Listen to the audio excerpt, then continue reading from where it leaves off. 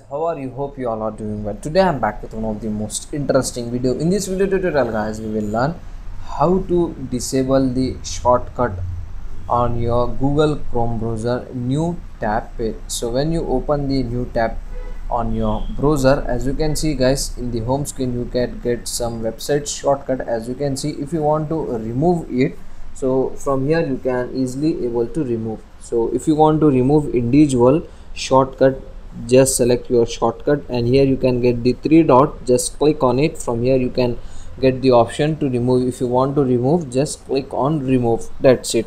If you want to remove the all shortcut from your new tab page on your browser here you can get the option customize chrome. Just click on it and here you can get the option shortcuts. Just click on it okay after this guys here you can get the option hide shortcuts. If you want to hide all shortcut just you need to enable this option. After this guys just click on done. That's it.